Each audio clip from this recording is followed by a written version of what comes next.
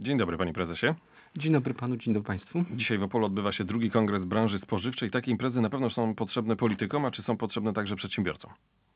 Myślę, że tak. E, Coraz mniej mamy takich okazji, gdzie możemy się spotkać i e, porozmawiać. Tutaj wielokrotnie gdzieś tam e, w różnych mediach się pojawiła informacja, że Opolszczyzna, przemysł spożywczy fajnie się tak troszeczkę poukładał. To znaczy, że są firmy znane w Polsce, jest kilka z firm bardzo znanych w Polsce, jak COT, jak e, e, Owita, natomiast tak naprawdę to są firmy, które ze sobą nie konkurują. Każdy z nas działa w innym sektorze, więc możemy no, dosyć swobodnie wymieniać informacje, co się dzieje w branży. Taki kongres jest tylko okazją do wymiany pewnych poglądów na temat tego, co się dzieje w branży, czy także okazją do nawiązania kontaktów biznesowych?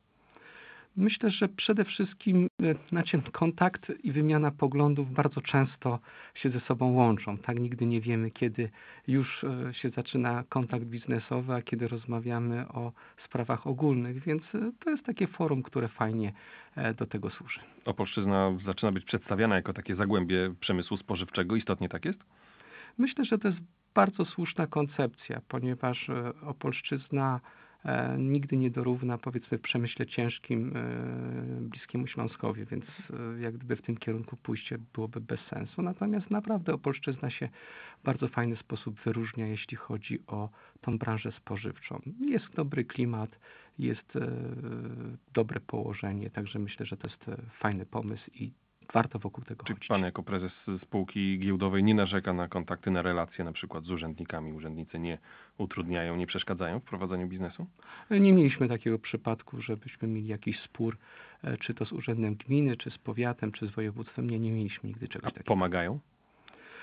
Czy pomagają? Ja myślę, że trochę inaczej. Im mniej polityki w biznesie, tym lepiej, ponieważ e, czasami kadencje polityków są krótkie, a przedsiębiorstwa muszą funkcjonować długo, długo, więc e, czasami jak, jak każdy robi swoje, to nawet trochę lepiej. Czyli to jest trochę tak, że politycy chętnie ogrzewają się w świetle e, biznesu, podczepiają jakby pod ten biznes, natomiast biznes ucieka od polityków? Nie, nie, nie, nie, nie, nie, nie w takich e, kolorach.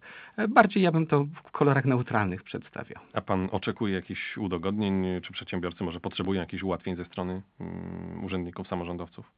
Znaczy myślę, że warto tą podkreślenia sprawą jest jednak kształcenie kadr w województwie opolskim, ponieważ e, mamy niedobór wykwalifikowanych ludzi na tych powiedzmy średnich szczeblach zarządzania. E, powiedzmy nawet te etaty robotnicze czy pracownicze, które bezpośrednio produkcyjne, o tak lepiej e, by można było powiedzieć, to już nie są te proste sprawy, które były kilka lat temu. W wielu wypadkach to są urządzenia, to są automaty, do tego potrzeba po prostu znacznej wiedzy takiej technicznej, przygotowania e, fachowego i myślę, że tego trochę nam e, brakuje. Czyli oczekiwalibyście współpracy z szkolnictwem, na przykład, żeby dostosować kształcenie do potrzeb rynku? Dyskutujemy na ten temat. Też jest szkoła w Nysie, jest szkoła przecież wyższa w Opolu i natomiast na to po prostu trzeba trochę, trochę czasu, żeby szkolnictwo szkolnictwo dostosować do potrzeb e, rynku. Czy jeśli chodzi o sytuację kadrową, to odczuwacie to, że jest duża migracja z Opolszczyzny, że pracownicy wyjeżdżają? Tak, e, myślę, że bardzo trudno znaleźć e, młodych ludzi, którzy, może inaczej, naszymi dyrektorami pionów są ludzie, którzy nie mieszkają w Nysie. Mówię tutaj o zakładzie e, odmuchów Nysa. Tak? To są ludzie, którzy są albo spod Wrocławia, albo ze Śląska i nie dlatego, żeśmy tak chcieli, tak? tylko po prostu był problem z rekrutowaniem fachowców na terenie powiatu nyskiego. Czyli dopiero pod Wrocławiem znaleźliście fachowców, których potrzebowaliście. Tak. Jednego ze Śląska, drugiego taka powiedzmy zbieranina z województw e, ościennych. Mhm. Panie prezesie, jeśli chodzi o kryzys, który mamy od kilku lat, to on jest odczuwalny mocno w branży spożywczej? Ja myślę, że na ten problem trzeba popatrzeć trochę szerzej. E, e, proszę zobaczyć, e, jak się rynek ukształtował. Tak? Z jednej strony mamy coraz to bardziej skoncentrowany handel, coraz to bardziej silne sieci, które konkurują ze sobą cenami, więc jest presja na dostawców. Jest bardzo zmonopolizowany w wielu wypadkach rynek e, surowców, tak? E, Praktycznie wszystko, co jest związane z kakałem, praktycznie co jest związane e, z tłuszczami, już nie mówiąc o cukru, gdzie, gdzie cukier praktycznie to jest powiedzmy reglamentacja unijna, tak? Więc z jednej strony mamy mocne sieci, z drugiej strony mamy bardzo mocnych dostawców i gdzieś tam w pośrodku jesteśmy my. E, Każdy łańcuch jest tyle warty, ile jest warte jego najsłabsze ogniwo. I tutaj, jeżeli nie dojdzie do kompromisu, jeżeli e, my nie będziemy zarabiać, to przestaniemy być innowacyjni. Jak przestaniemy być innowacyjni, to przestaniemy dostarczać do tych sieci. Tak? Na to tylko czekają duże koncerny światowe, które wolne moce produkcyjne mają. Tak? E, Na dzień dzisiejszy oni w wielu wypadkach e, obniżają ceny czasami do absurdu, pokazują się na półkach bardzo niskie e, ceny. Oni mają czas, oni mogą to przetrwać. Tak? Czyli grają na wyniszczenie przeciwnika. E, Konkurenta może bardziej. Tak, tak. Znaczy jest to świadoma, e, moim zdaniem, bardzo konsekwentna gra w biznes. Dlatego my jako, wtrącę, przepraszam, jako firma próbujemy się przed tym bronić w różny sposób, tak? E, Pierwsza rzecz, na pewno dbamy o e, naszych partnerów z sieci. Druga rzecz, coraz bardziej to, co to już w tej chwili jest około 20-30% naszej sprzedaży, to co my nazywamy B2B, czyli produkcja pod markami e, dużych gigantów spożywczych. To się bardzo Czyli fajnie dla sieci marketów na przykład. nie, nie, nie, to, to, to, to w tym pierwszej działce, chociażby tutaj e, powiedzmy Frugo, tak? Może to nie jest największa firma na świecie, ale bardzo znana marka, tak? Otmuchów jako firma produkuje żelki pod marką Frugo.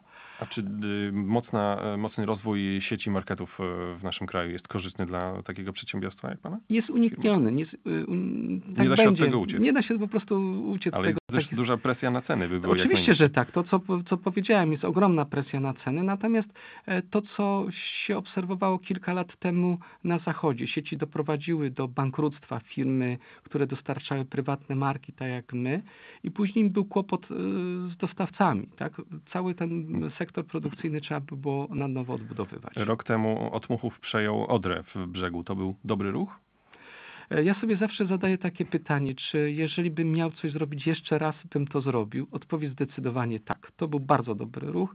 E, Jesteśmy po e, roku pracy w Odrze, po restrukturyzacji tej wstępnej i myślę, że idziemy w bardzo dobrym Trzeba kierunku. było zwolnić ponad 100 pracowników. Nawet więcej, tam nawet więcej, natomiast staraliśmy się to robić w ten sposób, że nie zwalnialiśmy pracowników bezpośrednio produkcyjnych w głównej mierze, a ludzi, którzy byli w tych powiedzmy działach wokół produkcyjnych.